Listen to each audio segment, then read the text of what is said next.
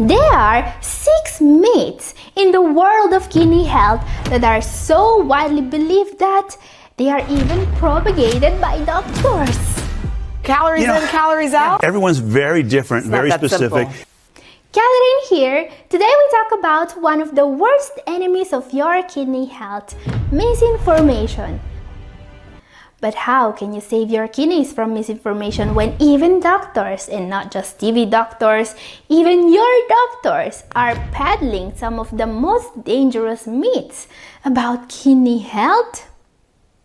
Well, this is why we are here today. We are going to see if it's true that eating in deficit does not necessarily translate to fat loss.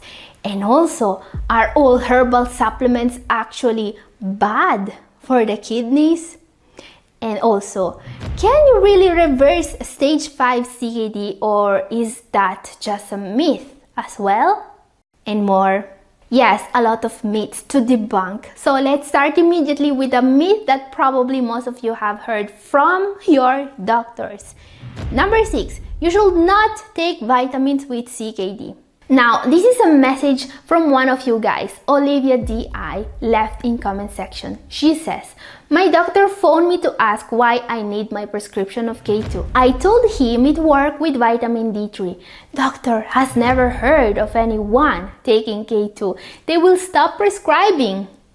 So she is actually trying to teach her doctor about vitamin K2, but as we can see, her doctor refused to give her this vitamin. So, who is right in this case, the doctor or the patient?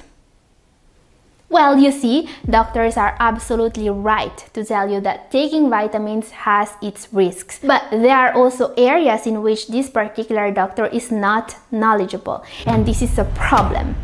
Vitamin K2 supplementation is absolutely key if you want to avoid arterial calcification risk while taking vitamin D3.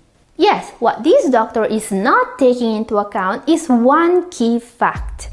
According to statistics and depending on stage, up to 84.7% of kidney disease patients have low levels of vitamin D. And doctors should know this because this study we are looking at was published on a medical journal about nephrology. So yeah, our myth number 6, you should not take vitamins with CKD, is debunked. Myth number five. Okay, this is something probably every single kidney disease patient has heard about from their doctors. Everyone believes that you cannot reverse CKD in the advanced stages. So, is this a myth as well? Clearly, it's extremely hard for a patient in stage 4 or even 5 of kidney disease to start seeing constant, significant improvements in their kidney function. For those watching me that don't know about kidney disease stages, CKD is a progressive disease that gets worse when the stage gets higher. Usually patients in stage 4 and 5 are not doing well and they are also suffering from comorbidities and complications. These are other pathologies that makes everything a lot worse. Clearly, we are talking about diabetes, high blood pressure, anemia, mineral and bone disorder, heart issues and more. This is why I would not hold a grudge to my doctor if he told me that CKD stage 4 and 5 cannot be reversed. But you see, it's a proven fact that kidney disease can actually be reversed even in stage 5 patients that are not yet on dialysis. This is what a very noteworthy study published in the journal PLOS ONE was able to prove. This research involved more than 400 CKD patients stage 2 to 5 and lasted more than 8 years. 62 of them were able to improve. Incredibly, some of these 62 improvers were in stage 4 or 5 of CKD. And this study tells us that it's not the stage of CKD you are in that determines how your kidney function will change, but it's the diet you are following and the treatment you are receiving. This is why it is extremely important to understand that our myth number five, you cannot reverse CKD in the advanced stages, is debunked. Okay, time for our number four now, another myth that too many doctors still believe in. Number four, if you have CKD, you must avoid high potassium foods. Never let a slice of tomato pass your lips. This was the mantra of many kidney doctors back in the day. And it still is the mantra of some doctors today. I know this because many of you guys are still mad at me when I recommend foods such as bananas, potatoes, avocado, spinach, and so on. Now guys, while I wouldn't hold a grudge to a doctor that thinks that stage 5 kidney disease is not reversible, if a doctor tells me that all CKD patients must avoid all high potassium foods, well, I would be very mad. This is unacceptable in 2024. A doctor has no right to still be telling all CKD patients to avoid high potassium foods. Why, you may ask? First of all, because just a small percentage of CKD patients also suffer from high potassium levels.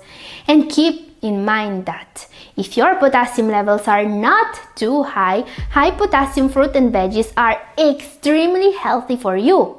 Bananas, potatoes, avocados are so healthy for people with CKD that today the rule book for the renal diet changed. What the current rule for physicians treating CKD patients say is that even if the patient has too high potassium levels, restricting the intake of fruit and veggies should only be considered as a last resort. Guys, we know very well today that too high potassium level in CKD patients is caused by medications, not the diet. It's even in the rule book, and it is extremely important to treat the real cause of high potassium level, alright? Keep in mind that this is a condition that could literally cost your life. This is why it is not acceptable to still tell CKD patients to avoid potatoes and tomatoes when they have a life-threatening condition that is caused by prescription medications. Remember, clinicians should actively investigate other factors that contribute to hyperkalemia before reducing dietary potassium intake. This is what the rule book for CKD treatment says. And this is also why our number 4, if you have CKD, you must avoid high potassium foods, is also debunked. Now guys, if you want to learn more about how to manage potassium, I've talked way more in depth about this in my recent video. It's up here and also down in description. Up next, our number three. This is going to be interesting because it's about something you guys always ask in comment section. Number three, herbs can be dangerous if you have CKD. Reading your comments, it's clear that a lot of doctors have reserves when it comes in particular to herbal remedies. Seems like every time you ask about this or that herb, you are always told to flat out avoid it. And you see, there are many reasons why doctors tell CKD patients to avoid herbal remedies. Contamination is one. There are many documented cases of people suffering kidney damage because they took the wrong herb. Then there are interactions. Then there is the fact that some herbs do damage the kidneys, especially in those with CKD. Another problem, many doctors are not knowledgeable about herbal remedies. Thus, they won't be able to diagnose you correctly in case of a problem. And I could go on forever here. I mean, this is a very broad topic. You could literally write a master's degree thesis about the pros and cons of natural supplements and herbs in the treatment of CKD. And I'm telling you this because, well, I actually did. This is why here on Double Kidney, you won't see a lot of herbal remedies recommended. There are thousands of herbal remedies I could talk about, but I chose not to. Instead, I have only recommended a handful over the course of the years. Only few things are supported by scientific evidence so strong that they are worth the risk. And I'm talking about cordyceps, astragalus, ginseng, and just a few other herbs, really. So is our myth herbs can be dangerous if you have CKD debunked? No, this is not a myth. It's not debunked. Get informed very well before using any herbal remedy, even if it's something I recommend, right? Up next, this is a very important one about the diet for kidney disease and diabetes in particular. Many people, including some doctors, are convinced that number two, you must completely avoid fruit and starchy vegetables with diabetes. Now, this seems very straightforward. Diabetes is caused by too much sugar going around, which is a type of carbohydrate. So, it's clear that if you want to get better, you must avoid all these carbs and sugar. So, this is easily proven true, right? Well, not really. To understand if this is a myth or not, we must go a little bit more in depth about type 2 diabetes. Because you see, the cause of type 2 diabetes is not carbs per se. The cause is insulin resistance. In people with diabetes, the body cells become resistant to the effects of insulin, so they don't absorb glucose from the bloodstream efficiently, leading to high blood sugar levels. So it's clear that decreasing sugar intake may help controlling this symptom of insulin resistance, but, but is it actually going to improve the cause of the issue? Remember that our goal is to get better here, not just to, you know, survive. And if our goal is to get better with type 2 diabetes, there is only one type of sugar that you need to completely avoid added sugar. Like the sugar you find in processed foods, alright? And the reason is not what you think. You see, science tells us that it's not sugar itself that causes insulin resistance and then diabetes. This is a very common misconception that is caused by the fact that excess body fat causes insulin resistance, as we can see, especially when paired with inactivity, alright? So keep in mind that excess body fat and inactivity cause type 2 diabetes, alright? This is important because now you may ask, isn't avoiding fruit and starchy veggies a good strategy to lose that body fat then?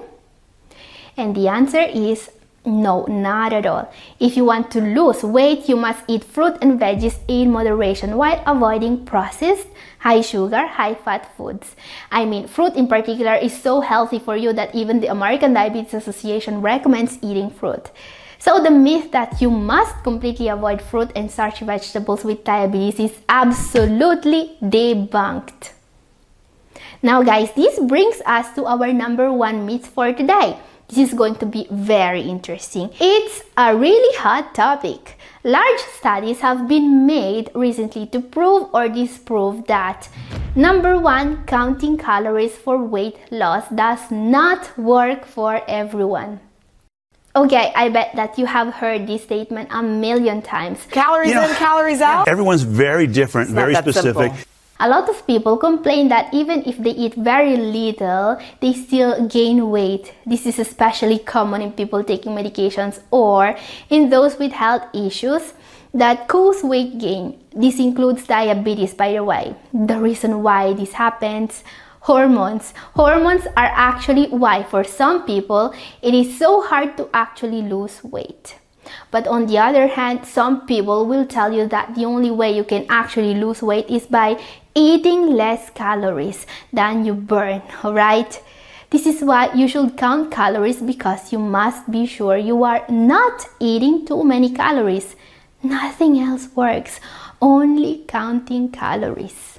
So, who is right, the hormone people or the calorie people?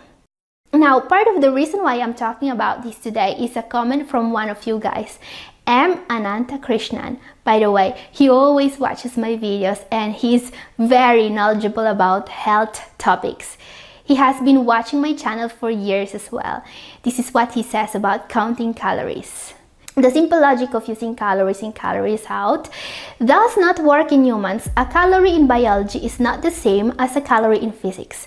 The key difference in humans mammals is the hormonal response by the body to various types of food. The body reacts differently in hormonal terms when consuming carbohydrates, protein, fat, or fiber, and that in turn determines whether it is burned as energy, used for body repair, stored as ready to use glycogen, or stored as unwelcome visceral fat. Therefore, the type of food plus the hormonal response to that the particular type of food from the body together will determine the end result.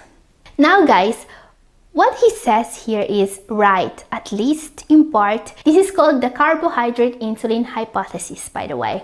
And it's based on the fact that hormonal response to foods is 100% real and it will make a huge difference in terms of end results with a weight loss diet. No doubt about it.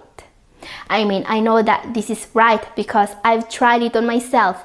Whenever I go on a diet, I always start by removing anything containing processed sugars from my shopping cart. Seriously, I start my diets a week before and at the supermarket. I know that the sugar they hide in everything will cause me cravings that will make my diet harder to follow. So, are we confirming that counting calories does not work then? Well, no, not at all. The opposite is actually true because you see, the only way in which hormones will make weight loss harder is by making you eat more. Think about this. Because you see, the reason why I avoid processed sugars even if I count calories is because I don't want to feel hungry one hour after a meal, alright? And added sugar does just that. But you see, this does not prove that you can lose weight without eating less calories than you burn. This is impossible. Why am I so sure, you may ask? Well, because of science. Several large studies were made to confirm or deny this hormone theory, which is actually called carbohydrate insulin hypothesis. This hypothesis suggests that carbohydrate, not calorie, restriction confers a metabolic advantage, allowing fat intake without weight gain. If this was true, it would completely disprove counting calories. But you see, no one ever was able to prove the carbohydrate insulin hypothesis, not even close. You can't prove that eating more calories makes you lose weight, alright? Not even if all these calories only come from fat and protein. And I quote, results from a number of sources refute both the theory and effectiveness of the carbohydrate insulin hypothesis. Instead, risk for obesity is primarily determined by total calorie intake. Guys, what this proves is that only calories matter when it comes to weight loss. It doesn't matter if you eat carbs or fat or protein. It doesn't matter if you eat at night, if you eat fast, or if you eat one time a day or 10 times a day. The only thing that matters for weight loss is calories. And the only people that will tell you that you can lose weight without restricting calories are those trying to sell you a diet plan. Seriously, who would buy a fat loss diet if they knew that all it matters for fat loss is calorie in, calorie out? So, in short, hormones are important, but only because they make you eat more. I mean, have you ever seen people from a farmish country suffering from obesity? No? Do you think their hormones are any different? No, guys, it's just the calories. Remember, only people from countries where food is abundantly available can be overweight or obese. This is why our number one, counting calories for weight loss, does not work for everyone, is completely debunked. And guys, if you don't believe that what I say is true, feel free to post in comment section any serious scientific paper that proves that you can lose weight without being in caloric deficit. But you won't be able to find it. And guys, if you want to learn more about the diet for diabetes and kidney disease, my video up here is for you and this is all for today. Thank you for watching. God bless you all. Bye.